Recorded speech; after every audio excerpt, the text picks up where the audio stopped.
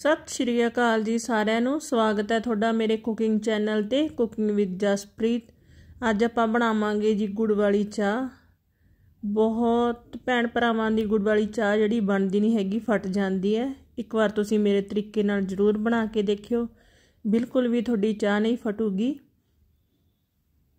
ਤੇ ਬਹੁਤ ਵਧੀਆ ਗਾੜੀ ਚਾਹ ਬਣ ਕੇ ਆਪਾਂ ਤਿਆਰ ਕਰਾਂਗੇ।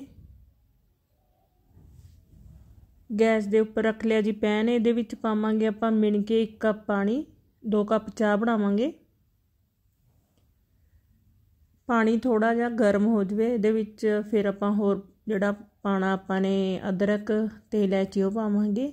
ਜੇਕਰ ਤੁਸੀਂ ਪਹਿਲੀ ਵਾਰ ਮੇਰੇ ਚੈਨਲ ਤੇ ਵਿਜ਼ਿਟ ਕੀਤੀ ਹੈ ਤਾਂ ਪਲੀਜ਼ ਚੈਨਲ ਨੂੰ ਸਬਸਕ੍ਰਾਈਬ ਕਰ ਲਿਓ। ਬੈਲ ਆਈਕਨ ਜ਼ਰੂਰ ਦਬਾ ਲਿਓ ਤਾਂ ਕਿ ਤੁਹਾਨੂੰ ਨੋਟੀਫਿਕੇਸ਼ਨ ਨਾ ਜਿਹੜੀ ਵੀਡੀਓ ਦੀ ਉਹ ਸਭ ਤੋਂ ਪਹਿਲਾਂ ਮਿਲ ਜਵੇ। ਪਾਣੀ ਹਲਕਾ ਹਲਕਾ ਗਰਮ ਹੋਣ ਲੱਗ ਗਿਆ। ਹੁਣ ਇਸ ਦੇ ਵਿੱਚ ਪਾ ਦਾਂਗੇ ਜੀ ਅਦਰਕ।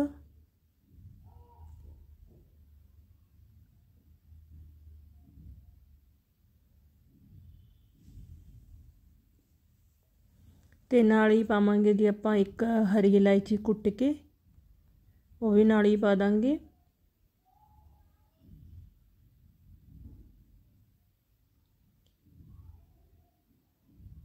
ਗੁੜ ਨੂੰ ਨਾ ਹਮੇਸ਼ਾ ਤੁਸੀਂ ਪਹਿਲਾਂ ਤੋੜ ਕੇ ਦੇਖ ਲਓ। ਜਿਹੜਾ ਗੁੜ ਥੋੜਾ ਜਿਹਾ ਹਾਰਡ ਹੁੰਦਾ ਨਾ, ਉਹ ਚਾਹ ਦੇ ਲਈ ਬੈਸਟ ਹੁੰਦਾ ਮਿੱਠੇ ਦੇ ਮੁਤਾਬਕ ਆਪਾਂ ਇਹਦੇ ਵਿੱਚ ਪਾਤਾ ਗੁੜ।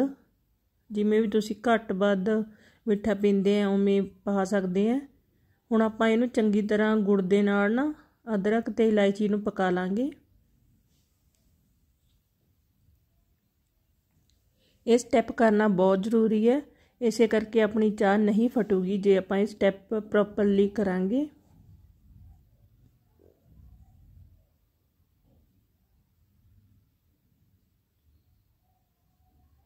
ਇਹ ਦੇਖੋ ਜੀ, ਪਾਣੀ ਦੇ ਵਿੱਚ ਗੁੜ ਆਪਣਾ ਐ ਰਲ ਚੁੱਕਿਆ ਬਿਲਕੁਲ।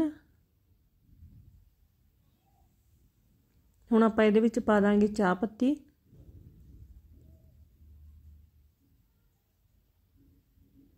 ਤੁਸੀਂ ਇਹ ਜ਼ਰੂਰ ਚੈੱਕ ਕਰ ਲਿਓ ਕਿ ਆਪਣੀ ਜਿਹੜੀ ਇਹ ਪਾਣੀ ਹੈ ਨਾ, ਇਹਦੇ ਵਿੱਚ ਗੁੜ ਦਾ ਬਿਲਕੁਲ ਵੀ ਕਿਨਕਾ ਨਹੀਂ ਰਹਿਣਾ ਚਾਹੀਦਾ।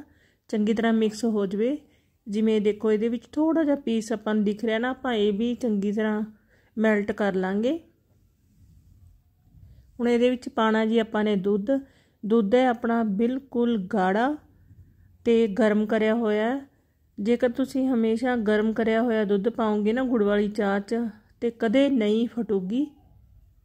ਹੁਣ ਆਪਾਂ ਨੇ ਇਹਨੂੰ ਜ਼ਿਆਦਾ ਦੇਰ ਨਹੀਂ ਰਜਾਣਾ, ਸਿਰਫ ਇੱਕੋ ਵਾਲਾ ਦਵਾਵਾਂਗੇ, ਕਿਉਂਕਿ ਆਪਾਂ ਨੇ ਜਿਹੜਾ ਦੁੱਧ ਪਾਇਆ ਨਾ, ਉਹ ਬਿਲਕੁਲ ਗਰਮ ਸੀਗਾ।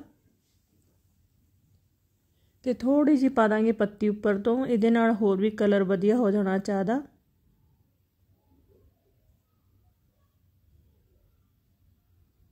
ਹੁਣ ਇਹਨੂੰ ਚੰਗੀ ਤਰ੍ਹਾਂ ਉਬਾਲਾ ਦੇ ਲੈਂਦੇ ਆ ਇੱਕ।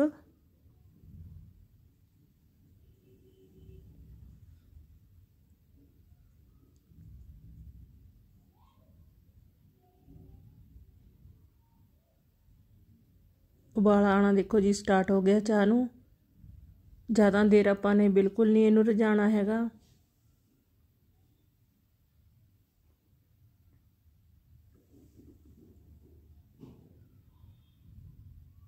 ਚਾਹ ਦਾ ਕਲਰ ਦੇਖੋ ਤੇ ਬਿਲਕੁਲ ਗਾੜੀ ਚਾਹ ਆਪਾਂ ਨੇ ਬਣਾ ਕੇ ਤਿਆਰ ਕਰੀ ਹੈ। ਜਿਵੇਂ ਦੀ ਆਪਣੀ ਬਜ਼ੁਰਗ ਲੋਕ ਪੀਂਦੇ ਹੁੰਦੇ ਸੀਗੇ। ਬੈਨੀਫਿਟ ਤੁਹਾਨੂੰ ਪਤਾ ਹੀ ਹੈ, ਗੁੜ ਦੇ ਕਿੰਨੇ ਹੁੰਦੇ ਆ ਚਾਹ ਆਪਣੀ ਬਿਲਕੁਲ ਬਣ ਕੇ ਤਿਆਰ ਹੈ ਜੀ ਪੀਣ ਲਈ। ਜੇਕਰ ਤੁਹਾਨੂੰ ਮੇਰੀ ਚਾਹ ਦੀ ਇਹ ਰੈਸਪੀ ਜਾਣਕਾਰੀ ਜੋ ਵੀ ਹੈ ਚੰਗੀ ਲੱਗੀ ਤਾਂ ਪਲੀਜ਼ ਵੀਡੀਓ ਨੂੰ ਲਾਈਕ ਕਰ ਦਿਓ ਸ਼ੇਅਰ ਕਰ ਦਿਓ। ਚੈਨਲ ਨੂੰ ਜਰੂਰ ਸਬਸਕ੍ਰਾਈਬ ਕਰ ਲਿਓ ਜੀ ਤੇ ਬੈਲ ਆਈਕਨ ਜ਼ਰੂਰ ਦਬਾ ਲਿਓ ਤਾਂ ਕਿ ਤੁਹਾਨੂੰ ਆਉਣ ਵਾਲੀ ਵੀਡੀਓ ਦੀ ਨੋਟੀਫਿਕੇਸ਼ਨ ਮਿਲ ਜਵੇ ਤੇ ਤੁਸੀਂ ਵੀਡੀਓ ਸਭ ਤੋਂ ਪਹਿਲਾਂ ਦੇਖ ਸਕੋ। ਜੇਕਰ ਤੁਹਾਨੂੰ ਮੇਰੀ ਹੋਰ ਰੈਸਪੀ ਵੀ ਦੇਖਣੀਆਂ ਚੰਗੀਆਂ ਲੱਗਦੀਆਂ ਤਾਂ ਪਲੀਜ਼ ਉਹਨਾਂ ਨੂੰ ਸ਼ੇਅਰ ਜ਼ਰੂਰ ਕਰ ਦਿਆ ਕਰੋ। ਮੇਰੇ ਵੱਲੋਂ ਸਾਰਿਆਂ ਨੂੰ ਸਤਿ ਸ਼੍ਰੀ ਅਕਾਲ।